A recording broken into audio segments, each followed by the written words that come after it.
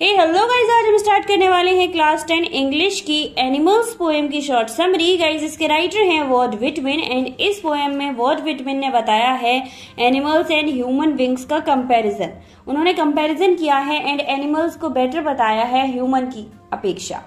वो कहते हैं कि अगर उन्हें टर्न करने को मिले मतलब अपनी लाइफ जीने को मिले दोबारा से तो वो एनिमल लाइफ में जीना चाहेंगे। पोएम की स्टार्टिंग में वो कहते हैं कि उन्होंने एनिमल्स की लाइफ बेटर पाई है ह्यूमन की अपेक्षा। जब वो एनिमल्स के साथ रहने गए, क्योंकि एनिमल्स जो होते हैं, वो सांसारिक चीज़ों से दूर होते हैं। ह्यूमंस की लाइफ में बहुत सारी सांसारिक चीज़ें होती हैं। मान लीजिए रहने का घर एसी फ्रिज कूलर टीवी गाड़ी, इनकी सहारे वो जीने लगता है। और वहीं पर एनिमल्स इन सारी चीज़ों से दूर होते हैं, उनकी लाइफ में काफ़ी शांति होती है। इसलिए जो ऑथर हैं, वो उनकी लाइफ में जाकर जीना चाहते हैं। वो कहते हैं कि ह्यूमंस जो होते हैं वो एनिमल्स और जो हमारे ह्यूमन होते हैं, दोनों की लाइफ में इंटरफेयर करते हैं, दोनों की बातों में इंटरफेयर करते हैं बट एनिमल्स ऐसा कुछ भी नहीं करते। अगर फ़र्क आया है तो सिर्फ़ इतना आया है कि आज उनसे उनके रहने के घर छीन लिए जाते हैं, जंगल काट दिए जाते हैं, फिर भी वो कुछ नहीं करते। मजबूरी में उन्हें रोड पर उतरना पड़ता है। वो हमें हार्म इसलिए करते हैं क्योंकि वो हमारी जो हम लोगों ने उनकी जगह छीन ली है, उनके रहने की जगह छीन ली है, और जैसे वो पचास साल पहले घास फूस खाकर अपना जीवन बिता रहे थे, वैसे ही आज भी घास फूस खाकर अपनी ज़िंदगी जी रहे होते हैं। ऑथर कहते हैं शायद इसीलिए वो काफ़ी लंबे समय तक खड़े होकर एनिमल्स को देखते रहे। वो कहते हैं कि एनिमल्स अपने दुख की शिकायत किसी से नहीं करते, ह्यूमन करते हैं। आप सबने भी देखा होगा, कुछ भी हो जाए तो पूरे गाँव में ढिंडोरा पीट दिया जाता है। बट एनिमल्स के साथ ऐसा नहीं होता। अगर उन्हें चोट भी लग जाती है तो वो बेचारे एक कोने में जाकर बैठ जाते हैं, ना दवा ले सकते हैं, ना पट्टी बंधवा सकते हैं। ऐसा कुछ नहीं होता उनके साथ। और वो ना ही कभी गिले करते हैं, ना शिकवे करते हैं और अपनी लाइफ को सादा सिंपल तरीके से जीते चले जाते हैं। वो रातों को जागते नहीं और कभी भी किसी गलती को करने के बाद पश्चाताप में रोते भी नहीं। इसका मतलब ये है कि वो ह्यूमन से काफ़ी डिफरेंट है।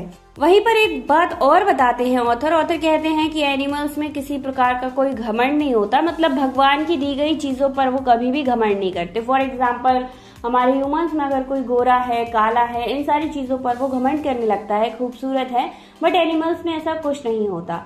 उनमें अपनी खूबसूरती को लेकर, अपने शेप को लेकर, अपनी ताकत को लेकर कभी घमंड नहीं पाया होगा आप लोगों ने।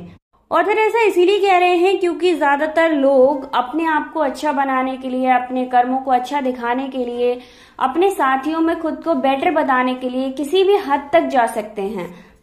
एनिमल्स ना ही कभी दिखावा करते हैं और ना ही कभी किसी को दुख पहुँचाने के बारे में सोचते हैं। क्योंकि वे संतुष्ट हैं, वहीं पर जो मानव है ह्यूमन है, वो संतुष्ट नहीं है। वो सांसारिक चीज़ों में उलझा हुआ है।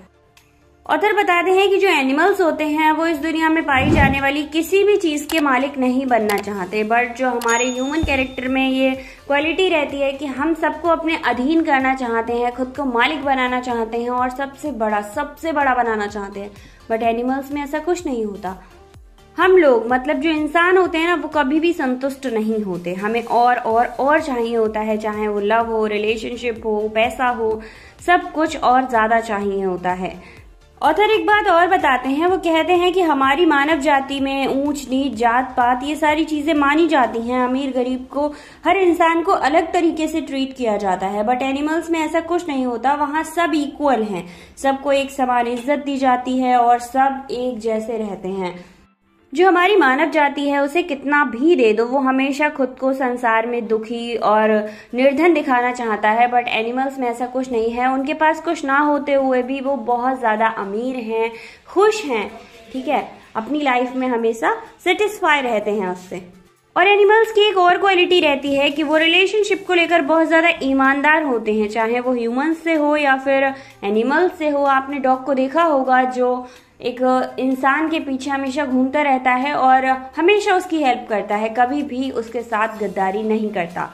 ऑथर बताते हैं कि एनिमल्स एनिमल्स को खाते हैं, पर वो इस बात को छिपाने की कोशिश नहीं करते कि हम लोग नहीं खाते।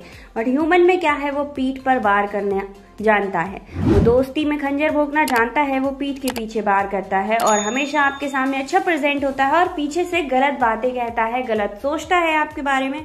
बट ऐसा एनिमल्स में नहीं होता।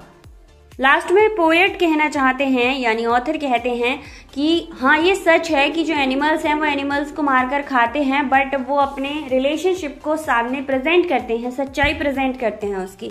ना कि धोखे धड़ी से एक दूसरे को मारने जैसी भावना रखते हैं।